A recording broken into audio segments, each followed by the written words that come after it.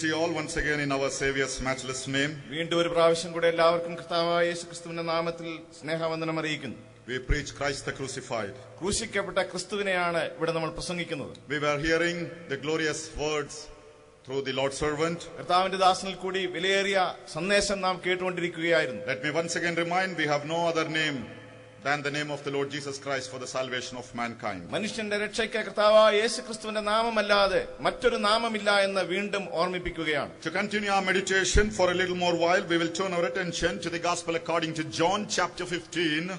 അല്പസമയത്തെ ധ്യാനത്തിനായിട്ട് യോഹന്നാന്റെ സുവിശേഷം പതിനഞ്ചാം അധ്യായത്തിലേക്ക് നമുക്ക് തിരിയാം And we will read verse 11. John's Gospel chapter 15 and verse 11. യോഹന്നാൻ പതിനഞ്ചിന്റെ പതിനൊന്നാമത്തെ വാക്യം This- എന്റെ- സന്തോഷം നിങ്ങളിൽ ഇരിപ്പാനും നിങ്ങളുടെ സന്തോഷം പൂർണമാകുവാനും ഇത് നിങ്ങളോട് സംസാരിച്ചിരിക്കുന്നു. My joy may remain in you and your joy may be full എന്റെ സന്തോഷം നിങ്ങളിൽ ഇരിപ്പാനും നിങ്ങളുടെ സന്തോഷം പൂർണമാകുവാനും.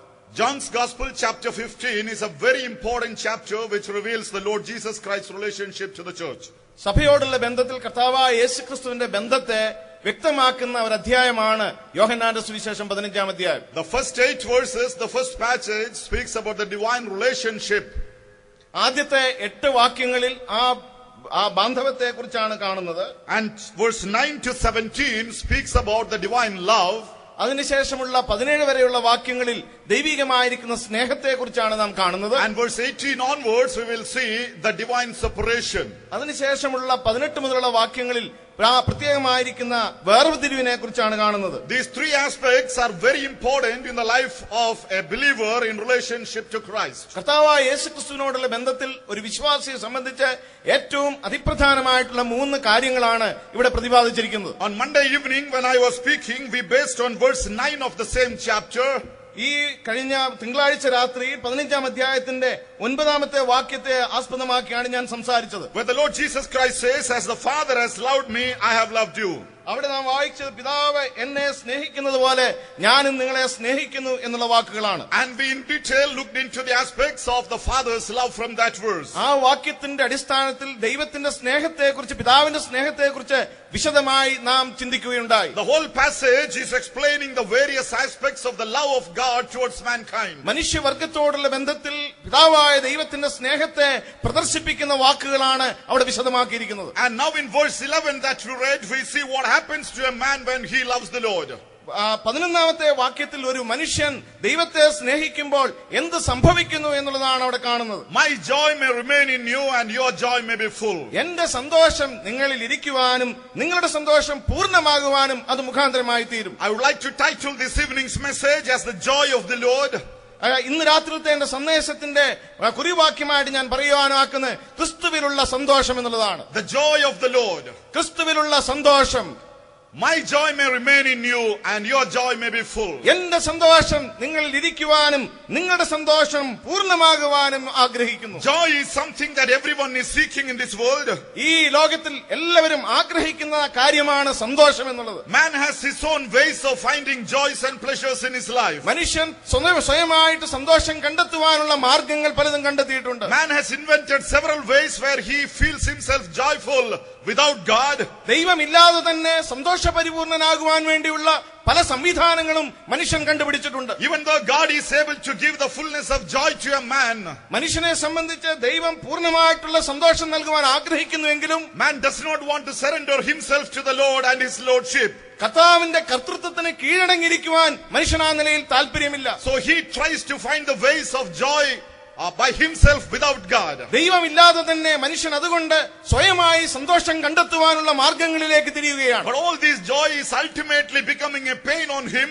എന്നാൽ ഈ സന്തോഷമെല്ലാം പൂർണമായിട്ടുള്ള നിരാശയിലേക്കും വേദനയിലേക്കും കടത്തിവിടുന്നതാണ് Many a time he spends all his resources and money to find joy in his life. തന്റെ ജീവിതത്തിലുള്ള എല്ലാ സമ്പാദ്യവും സുഖസൗകര്യങ്ങളും ഈ സന്തോഷത്തിന് വേണ്ടി ചെലവഴിക്കുന്ന മനുഷ്യനെ കാണുവാനായിട്ട് കഴിയും But in the latter days, he ends up spending more than that to treat the sickness and illness that he has ended up in. എന്നാൽ ഒടുവിലത്തെ ദിവസങ്ങളിൽ വരുമ്പോഴേക്കും കൂടുതൽ പണം അതിന്റെ ചികിത്സയ്ക്കായിട്ടും രോഗത്തിനു വേണ്ടിയും ചെലവഴിക്കുന്നതും കാണുവാൻ കഴിയുന്നുണ്ട് No joy that man has found has been ever permanent in his life. മനുഷ്യൻ കണ്ടുപിടിച്ച ഒരു സന്തോഷത്തിനും അത് സ്ഥിരമായി തന്റെ ജീവിതത്തിൽ നിലനിൽക്കുവാൻ കഴിയുന്നില്ല He struggles to come out of the pains as the consequences of such joys. അങ്ങനെയുള്ള സന്തോഷത്തിന്റെ പരിണിതഫലമായി ഉണ്ടാകുന്ന വേദനയിൽ നിന്ന് അവൻ പിൻവാങ്ങുവാൻ വേണ്ടിയുള്ള പരിശ്രമത്തിലാണ് എങ്ങനെയാണ് പിന്നീടുള്ള കാലം കഴിയുന്നത്. I have no time and I don't need to explain the various ways that man is adopting to find the joy in his life ഇന്ന് രാത്രിയിൽ മനുഷ്യൻ കണ്ടുപിടിച്ചിരിക്കുന്ന വിധവങ്ങളായിട്ടുള്ള സന്തോഷ മാർഗങ്ങളെ കുറിച്ച് ഇവിടെ വിവരിക്കുവാൻ എനിക്ക് സമയമില്ല. But the joy that the Lord is promising here is entirely different than the worldly joy എന്നാൽ ഇവിടെ കർത്താവായ യേശുക്രിസ്തു പറയുന്ന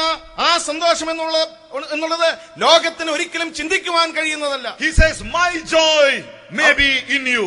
കർത്താവ് പറയുന്നത് എന്റെ സന്തോഷം നിങ്ങളിൽ ഇരിക്കണം എന്നുള്ളതാണ് The joy of the Lord is altogether different than the world ഈ ലോകം തരുന്ന സന്തോഷത്തെക്കാൾ എത്രയോ വ്യത്യസ്തമായിട്ടുള്ളതാണ് ദൈവിക സന്തോഷം എന്ന് പറയുന്നത്. 33 and a half years the Lord Jesus Christ lived on the face of the earth. മുപ്പത്തിമൂന്നര വർഷക്കാലം യേശുക്രിസ്തു ഈ ഭൂമിയിൽ ജീവിച്ചു.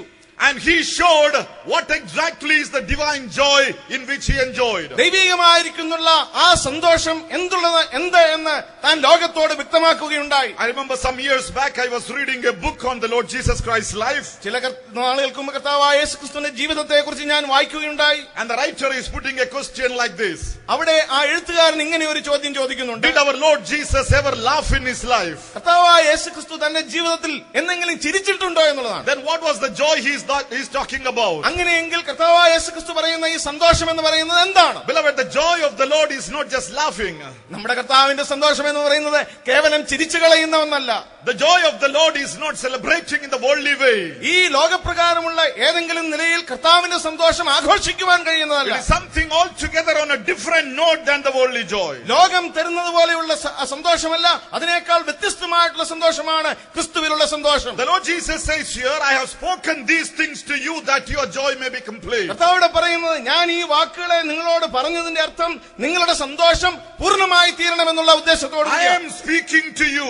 ഞാൻ നിങ്ങളോട് ഇപ്പോൾ സംസാരിക്കുകയാണ് So I am speaking to you and that words may bring joy to you.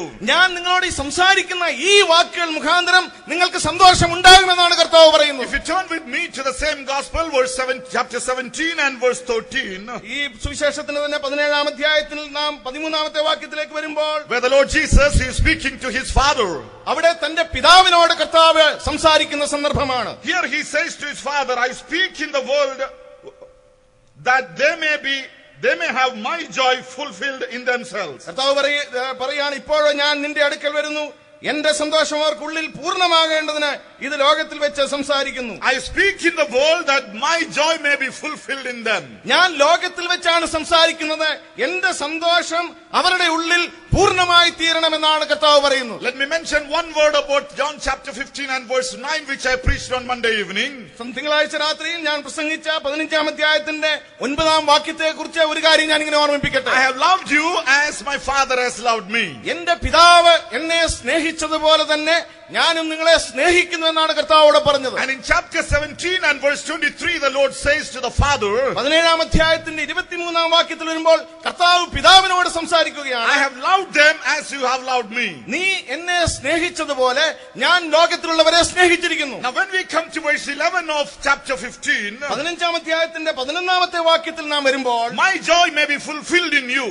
എന്റെ സന്തോഷം പൂർണമായിട്ട് തീരണം എന്നുള്ളതാണ് പറയുന്നത് And chapter 17 and verse 13, the same words the Lord is telling to the Father. ഇതേ വാക്ക് തന്നെ പതിനേഴാം അധ്യായത്തിന്റെ പതിമൂന്നാമത്തെ വാക്യത്തിൽ കർത്താവ് പിതാവിനോട് പറയുകയാണ് I speak to them that thou, my joy may be fulfilled in them. ഞാൻ അവരോട് പറയുന്നത് എന്റെ സന്തോഷം അവരിൽ പൂർണമാകണമെന്നുള്ളതാണ് The reason is, we read in John chapter 12 and verse 49, പന്ത്രണ്ടാം അധ്യായത്തിന്റെ നാൽപ്പത്തി ഒൻപതാമത്തെ വാക്യത്തിൽ നാം അതിന്റെ കാരണം കാണുന്നുണ്ട് I have not spoken on my own authority, but the Father who sent me gave me a command, what Yeah. I should say and what I should speak. യോഹന്നാൻ പത്- പന്ത്രണ്ടിന്റെ നാൽപ്പത്തി ഒൻപത് ഞാൻ സ്വയമായി സംസാരിച്ചിട്ടില്ല എന്നെ അയച്ച പിതാവ് തന്നെ ഞാൻ ഞാൻ ഇന്നത് പറയണമെന്ന് ഇന്നത് സംസാരിക്കണമെന്നും കൽപ്പന തന്നിരിക്കുന്നു None of the words he was speaking was of his own, but it was the words of the Father. താൻ സംസാരിച്ച വാക്കുകളൊന്നും സ്വയമേവ ഉണ്ടായതല്ല എന്നാൽ പിതാവിന്റെ വാക്കുകളായിരുന്നു The Lord Jesus Christ is God himself who appeared in the human body. ദൈവമായിരിക്കുന്ന കർത്താവായ യേശുക്രിസ്തു മനുഷ്യനായി ഈ ഭൂമിയിൽ അവതരിച്ച വ്യക്തിയാണ് There was always, therefore always, there was a sense of accountability to heaven. അതുകൊണ്ട് മനുഷ്യനായ കർത്താവിന് എപ്പോഴും സ്വർഗത്തോടെ ഒരു കണക്ക് ബോധിപ്പിക്കേണ്ടി ഉണ്ടായിരുന്നു.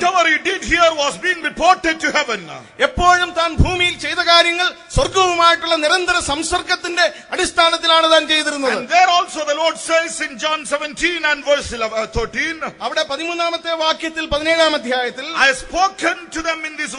ഞാൻ ഈ ലോകത്തിൽ വെച്ച് അവരോട് സംസാരിച്ച കാര്യം So it is what has been spoken by the Lord that gives joy to the believer. അവരോട് സംസാരിച്ച കാര്യമാണ് അവരുടെ ഹൃദയത്തിൽ സന്തോഷം പകരുന്നത് first thing that I want to emphasize this evening, ഇത് രാത്രിയിൽ ഞാൻ പ്രാരംഭമായി ഓർപ്പിക്കുവാൻ ആഗ്രഹിക്കുന്നത് it is the word of God that must be a joy to the children of God. ദൈവത്തിന്റെ വചനമാണ് ദൈവജനത്തെ സംബന്ധിച്ചിടത്തോളം സന്തോഷത്തിന്റെ മുഖ്യധാര None of the words of the Lord Jesus Christ was a casual word. കർത്താവായ യേശുക്രിസ്തു പറഞ്ഞ വാക്കുകളൊന്നും സാധാരണ വെറുതെ ഉപേക്ഷയായി വിചാരിക്കാവുന്ന വാക്കുകളല്ല look into the life of many word, many great men of the world and their words. നാം ഈ ലോകത്തിൽ ജീവിച്ചിരുന്ന മഹാന്മാരുടെ പല വാക്കുകളെയും ശ്രദ്ധിക്കുമ്പോൾ In one or other place, they had to correct their words or withdraw their words. അവർ പറഞ്ഞ വാക്കുകൾ തിരുത്തുകയോ അല്ലെങ്കിൽ അത് പിൻവലിക്കുകയോ ചെയ്യേണ്ടുന്ന ആവശ്യം അവർക്കുണ്ടായിട്ടുണ്ട് In some places, apologize for what they have said. അവർ പറഞ്ഞ കാര്യങ്ങൾക്ക് വേണ്ടി ക്ഷമ ചോദിക്കേണ്ടുന്ന സ്ഥിതിവിശേഷം ലോക മഹാന്മാർക്കുണ്ടായിട്ടുണ്ട് But take, for example, any single word that was spoken by the Lord Jesus എന്നാൽ Christ. നമ്മുടെ കർത്താവായ യേശു ക്രിസ്തു താൻ ഉച്ചരിച്ച വാക്കുകളെ കുറിച്ച് നാം